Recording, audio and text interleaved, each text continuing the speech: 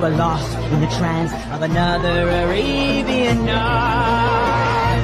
Arabian